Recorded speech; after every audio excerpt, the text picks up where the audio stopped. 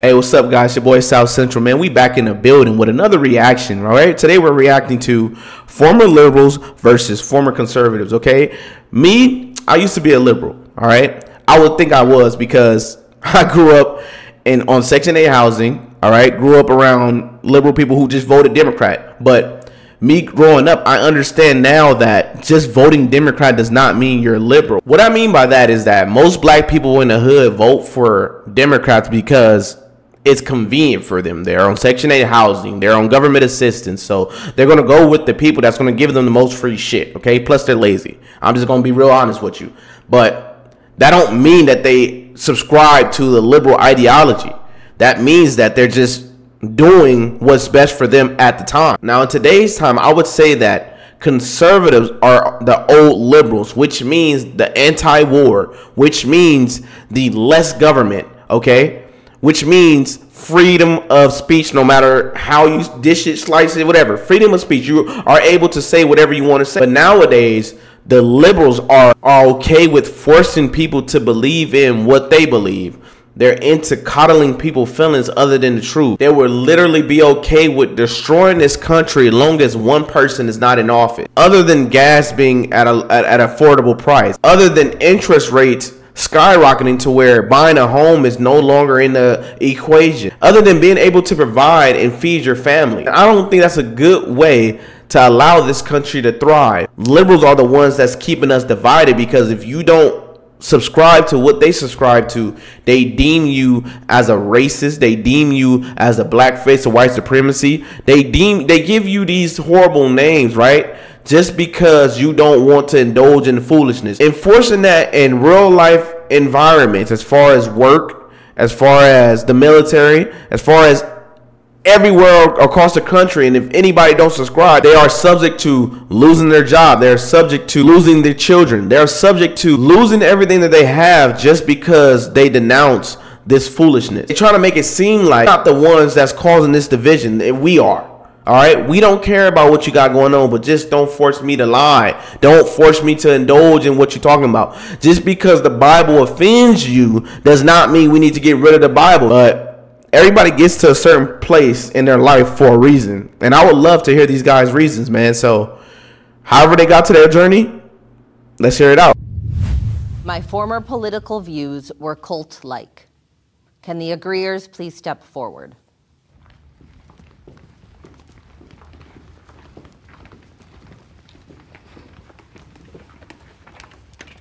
I, I, was gonna say I think both are just two separate cults, because like yeah. which is so funny. And I think also sides have like ironically kind of switched because as a Republican now, I'm like so anti-war. I'm anti-sending money to all these different countries that are not ours, while people are sick from the water and children are starving. Anti-pharmaceutical, anti-big government, anti all these things. And I'm like that is original liberalism. So I'm like, I think I'm more like independent, but I register and I vote as far right as I possibly can. I know as well. I think both sides are very tribal. Yeah. But in terms of cult, at this moment in time, I think the left is more cult-like.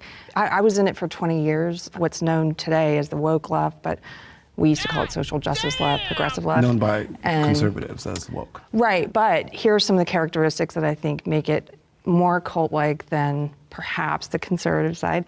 One is that if you had questions, you had to check your privilege, or there was always some line that they would use to get you to stop asking questions, which is sort of cult like. And then the other thing was there. She's absolutely right because during the pandemic, you couldn't say certain things on YouTube. When you had two opposing sides, one side was right and one side was just wrong and conspiracy theorists. All right.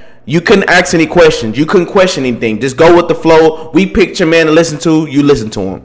And that did America a very bad disservice because I thought science was science and science is always meant to be questioned. But that don't mean that we're trying to devalue the next person. What I want to do is do proper research. I want this person, this person to talk it out because I don't know who to believe, right? I'm at, I'm juggling the two decisions and I want to see what's best for me and my family. You take that decision away from me, something is up. Okay, I have no choice but to think that something's up. It is kind of cult like because those on the other side was just like, you're just a conspiracy theorist. They made Americans fight with each other over something that was vital to making a choice, free speech. Okay, that's vital to America. That's what we stand for. You took that away from us just because you wanted to push a narrative. It does seem kind of cult like, and everything a conservative says is fact checked. Okay, and who was the fact checked by? We know who was fact checked by. It's not fact checked by a, person that truly wants to tell the truth. When you get fact checked, it's basically saying that you're thinking wrong. Hey, you're you're not supposed to think like that.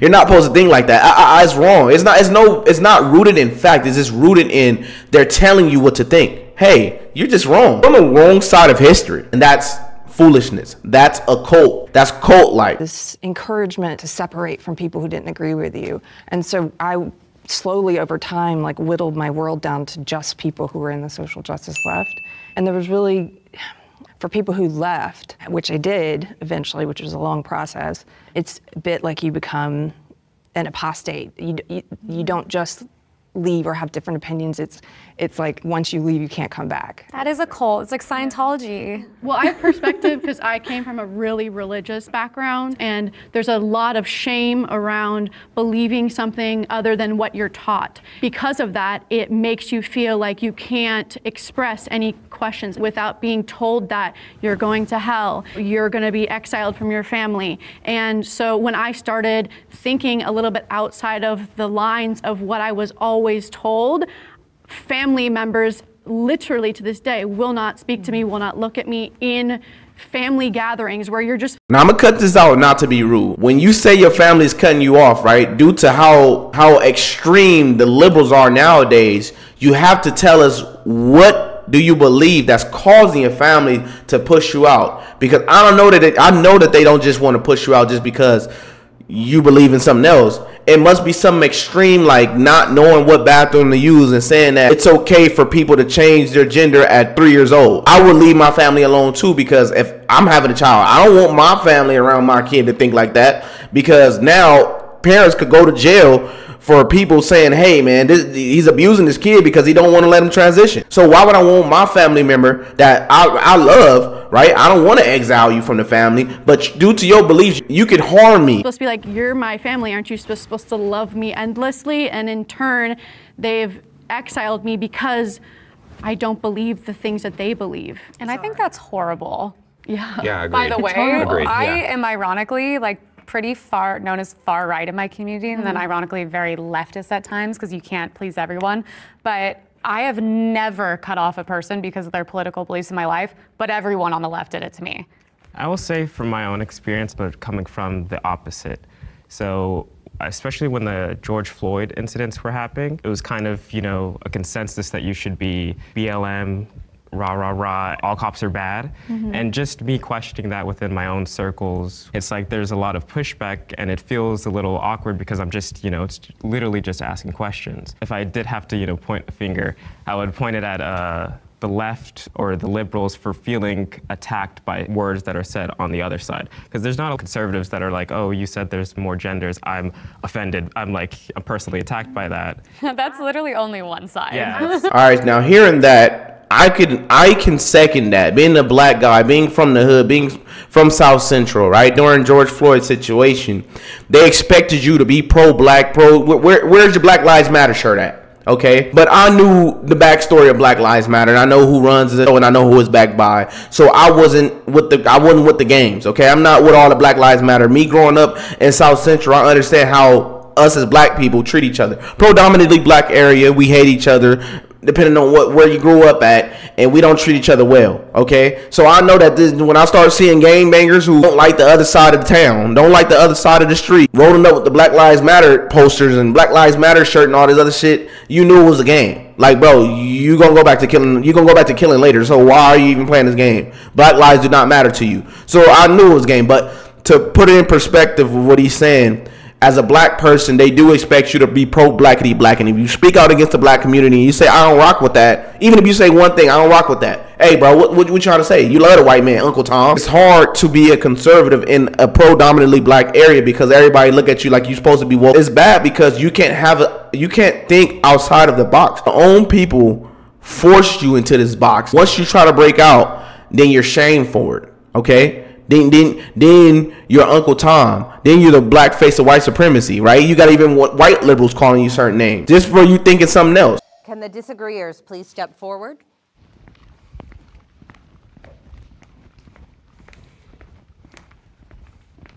I honestly think that both sides have very tribalistic tendencies at a time. As far as the question, like, were my beliefs personally cult-like? I don't think that I was in a cult. And I mean, even I think you mentioned that like um, conservatives don't get offended by speech as much, but conservatives get offended by pronouns. They got offended by Mr. Potato Head. they get offended by all I agree. kinds. really stupid things. Yeah, they get very they get very triggered also. And Yeah, for me, do. leaving the when I No, that that's not true. I would say that conservatives get offended by you trying to force us to play around with your games and your pronouns, and we know that it's a lie.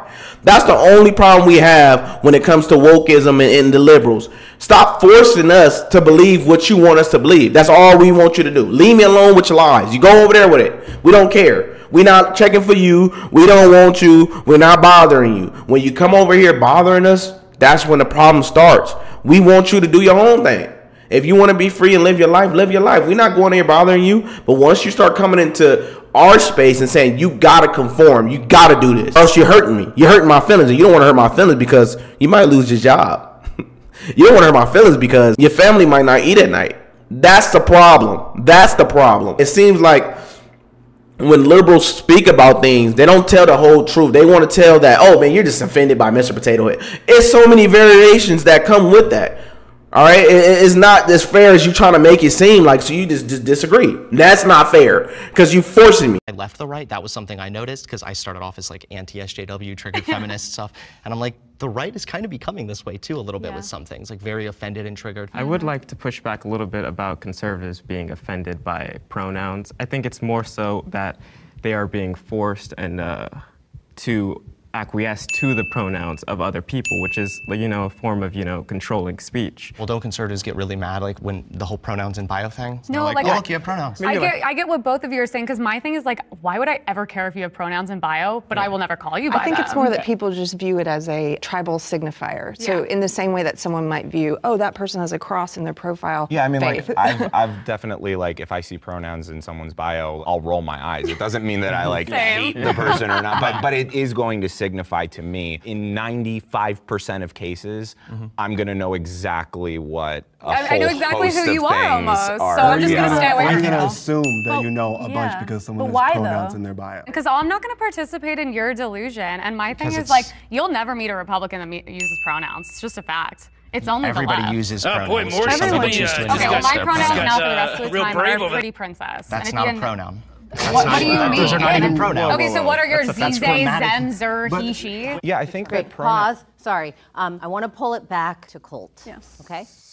circle back to the cult idea, we kind of straight in went to pronouns, which I think is again, it's like a kind of a hot topic. The media really makes you believe that one side is more of a cult than the other. That's all subjective. Some of the people that were that are on my side, it's cultish, but it doesn't it doesn't mean everyone is. Well, let me give you with an example, like, because I I agree with the, with you that the media is is fomenting these like right side left side cults mm-hmm. hundred percent. I would say that the media is a part of that cult. They amplify what they say. They enforce what they say. You don't have much conservative popular platforms because they ban them all. Okay, they say something that they're not supposed to say or that gets people offended. Therefore, you can't say it. Therefore, you have to go on other websites. You got to go on other platforms like Rumble, percent I agree with you. Yeah. Um, so like when I quote unquote like left the left, Yeah. it was because I had begun to question the policies that were surrounding the whole COVID situation. Mm-hmm. And I experienced cultishness on the left and the right for sure. But what what I found was if there were people who were willing to listen to me, they were like 95% of the time they were on the right about like I think the government is trying to control us. I think that they're trying to force us to do XYZ things. I only found ears on the right, except mm-hmm. in maybe one or two cases. So, like, for me, I was like, like when they when the prompt is like, oh, the the left is or, or your former side is is a cult. I, like that was that was very visceral to me. There was a section of the right that I could talk to, and they didn't feel like there was a section of the yeah. left. Well, you can always talk to me about it sometime if you want. I was I'd be more than happy to talk I'm to you about the COVID stuff. Thank you, my friend. I think Trump will win the next election.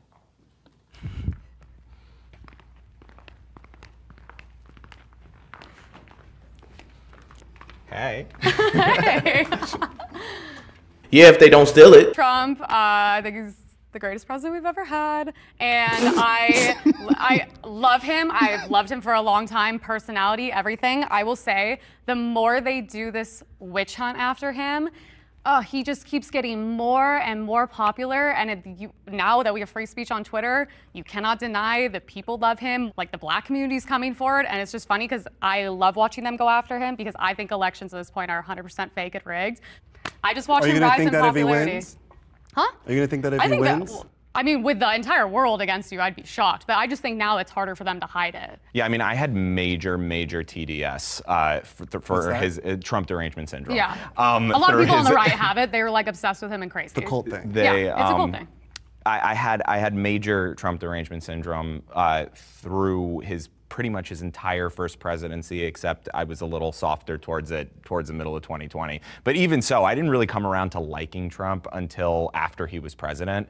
I went totally like uh, Republican um, in my viewpoints, but I think that like I came around to liking him unfortunately after his presidency because I saw what we got next. And so now I'm not gonna lie, guys. I'm not gonna lie, man. What got me to understand I was conservative was Trump. I'm anti-government. Okay, I'm not Antifa, but I don't want the government in my business. I don't want them spying on me. I understand that the I understand that the media is a big part of the government and they will lie to you and they'll lie to you in your face and tell you that they didn't lie to you. Fake news, okay? Love it. I understand how it feels, right? Watching through history, a person trying to do the right thing when everybody's against. I can't do anything but root for that person because I understand how that feels. I understand that it takes some sacrificing in order to try to right people's wrongs.